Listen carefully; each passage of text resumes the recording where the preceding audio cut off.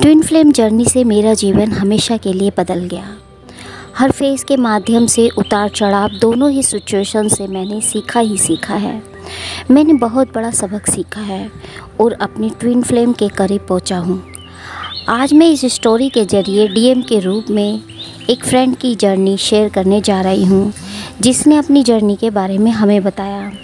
Start करने से पहले मैं यह बताना चाहूँगी कि हर डीएफ की, हर ट्विन फ्लेम की जर्नी सिचुएशन एक जैसी नहीं होती। सबकी जर्नी डिफरेंट होती है, सबकी सिचुएशन अलग होती है। इस जर्नी में दोनों ही ट्विन एक दूसरे को गलत समझते हैं। एक रिश्ते से भाग रहा होता है तो दूसरा उसे चेस करता है। डीएम क्यों भागता है? क्योंकि वो कंपटीशन से डरता है, वो कमिटमेंट से भागता है। और सच्चाई का सामना नहीं कर पाता। डीएम के नज़रिए से वह अपनी ट्विन सोल को की, ट्विन सोल को प्रोटेक्ट कर रहा होता है, क्योंकि वह इतनी ज़्यादा सिचुएशन से लड़ रहा होता है कि उसे लगने लगता है कि अगर मैं अपनी ट्विन सोल को साथ लेकर लड़ूँगा तो उसका इफ़ेक्ट मेरी ट्विन सोल पर बुरा पड़ेगा। उसे बहुत सी यातना सहनी पड़ सकती है। उसकी इमेज ख़राब हो सकती है। सो वो अपने ट्विन सोल को कुछ भी नहीं बताते कि वो किन किन सिचुएशन से फ़ाइट कर रहे हैं।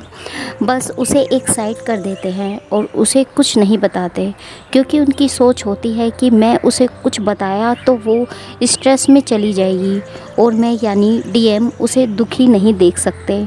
वो नहीं देख सकते कि मेरी डिवाइन फेमिनाइन किसी भी प्रॉब्लम में फंसे। सो वो रन करते हैं। रन करना ही वो एक बेटर ऑप्शन समझते हैं। उन्हें लगता है कि मैं नहीं रन किया तो मेरी डिवाइन सोल या मेरी ट्विन सोल प्रॉब्लम में फंस जाएगी और जिन सिचुएशन से मैं घिरा हूँ, वो भी शॉर्ट आउट करना ज़रूरी है। सो वो अपनी ट्विन सोल से इतना प्रेम करते हैं कि अपने प्रेम का सेक्रीफाइड कर देते हैं और उन्हें नहीं पता होता आगे फ्यूचर क्या होगा। अपने ट्विन फ्लेम फ्लेम अपने ट्विन फ्लेम से आगे कंटिन्यू कर पाऊँगा या नहीं बट अभी इस सिचुएशन से फ़ाइट करना उन्हें ज़्यादा इम्पोर्टेंट लगता है। सो so, वो अपनी ट्विन फ्लेम को प्रोटेक्ट कर रहे होते हैं ताकि वो डैमेज ना हो और भागते हैं। रनर और चेज़र का गेम हर ट्विन फ्लेम की जर्नी में होता है। सिचुएशन अलग अलग हो सकती है। यह क्यों होता है? एक्चुअल में यहीं से वो यात्रा या जर्नी स्टार्ट होती है, जिस पर यूनिवर्स इन दोनों सोल को लाना चाहते हैं। यानी कि स्पिरिचुअल जर्नी यह सेपरेशन एक महत्वपूर्ण रोल या इम्पोर्टेंट रोल अदा करता है। सेपरेशन में ही दोनों सोल लर्निंग करती हैं, वो सीखती हैं यूनिवर्स से और अपने कार्मिक अकाउंट से, क्योंकि सेपरेशन के दौरान डीएफ को डीएम बार बार यही बोलते हैं कि मैंने अपने प्यार का सेक्रीफाइड कर दिया है। मेरे ऊपर मेरे ऊपर बहुत सारी रिस्पॉन्सिबिलिटीज़ हैं और अगर हम ऐसे ही ब्लाइंड इस रिलेशन में आगे बढ़ते रहे तो मुझे तो मेरा तो नहीं बट तुम्हारा डर है, कहीं तुम किसी प्रॉब्लम में ना फंस जाओ। बस यही बात को वो बार बार रिपीट करते जाते हैं। बट डीएफ कंफ्यूज रहती है कि इन सब सिचुएशंस या खाली रिस्पॉन्सिबिलिटी के चलते डिवाइन मैस्कलाइन हमारे प्यार का सेक्रीफाइड कैसे कर सकते हैं? डीएफ हर सिचुएशन से लड़ना चाहती है बट डीएम चुप्पी में आ जाते हैं, वे साइलेंट हो जाते हैं। अलावा वो कोई भी बात डीएफ को शेयर नहीं करते। डीएफ को लगने लगता है, कहीं डीएम थर्ड पार्टी में तो नहीं चले गए, या फिर थर्ड पार्टी में तो नहीं जाना चाहते, कहीं वो मुझे चीट तो नहीं कर रहे, या फिर सब एज़ पर प्लानिंग तो नहीं कर रहे। या उन्होंने पहले से ही कोई प्लानिंग कर रखी थी और अब वो उस प्लानिंग पे चल रहे हैं। और मुझे बताया तक नहीं सो ऐसे बहुत से इशू क्रिएट होने लगते हैं। सो डिवाइन मैस्कलाइन इस जर्नी पे चलने के लिए स्पिरिचुअल रेडी नहीं होते। सो स्पिरिचुअल ग्रोथ के लिए पहले उन्हें अपनी सारी सिचुएशंस का सामने करने की ज़रूरत होती है। सो डीएम अपने प्यार का सेक्रीफाइड कर भागते हैं। उनकी नज़रों में वो अपनी डीएफ को प्रोटेक्ट कर रहे होते हैं। दोनों ही ट्विन फ्लेम के बीच काफ़ी सारी मिसअंडरस्टैंडिंग क्रिएट हो जाती है, जो बहुत ही डीप होती है। कई बार इमोशनल इश्यूज़ ट्रामाज या मनी हर्ट्स फीलिंग्स होती हैं, जो काफ़ी पेनफुल होती हैं। क्योंकि काफ़ी सारी मिसअंडरस्टैंडिंग होती है। सो डीएम को अपने डर या फियर को फेस करने की ज़रूरत होती है। खुद की पर्सनल ग्रोथ के लिए वो भागते हैं। सो वो रन करते हैं। तो कभी किसी भी मामले में या रिश्ते से भागने की डिज़ायर एक डीएम की फीलिंग होती है। क्योंकि यह लर्निंग का लर्निंग की भी जर्नी होती है, जो एक्चुअल में एक बार आप अपने बारे में यह जान लेते हैं तो आप इससे सीख सकते हैं और आगे बढ़ सकते हैं। अधिकतर सेपरेशन के फेस में डीएम को ही दोषी ठहराया जाता है। कुछ मामलों में ऐसा हो सकता है बट हमेशा सच नहीं होता। इसके अपोजिट भी हो सकता है। डिवाइन मैस्कलाइन रन करते हैं तो आमतौर पर जब, आमतौर पर ऐसा इसलिए होता है क्योंकि वो एक्चुअल में खुद से भाग रहे होते हैं। कई बार इसका ट्विन फ्लेम से कोई लेना देना नहीं होता। दूसरा वो अपनी स्पिरिचुअल ग्रोथ के लिए यूनिवर्स द्वारा उन्हें रन कराया जाता है। सो so, सेपरेशन के लिए कई बार न डीएम जिम्मेदार कई बार डीएम जिम्मेदार नहीं होते। आप दोनों अपने सेपरेशन और मिलन के लिए खुद ही जिम्मेदार होते हैं। सो so, इस यही मतलब है कि आप दोनों इस समय सेपरेशन के दौर से गुजर रहे हो तो अब आपको अपना स्पिरिचुअल ग्रोथ करना है। गलती सिर्फ़ एक ट्विन की नहीं होती, सो एक दूसरे पर ब्लेम करने से आपका कोई भला नहीं होगा। अगर आप इस जर्नी को समझ लेते हैं तो आप इजीली इस जर्नी पर आगे बढ़ते हैं। जो चॉइस करता है, वह स्पिरिचुअल ग्रोथ पर आगे बढ़ता है। इस स्टेज पर नहीं पता होता है कि हमारा ट्विन वापस आएगा या नहीं।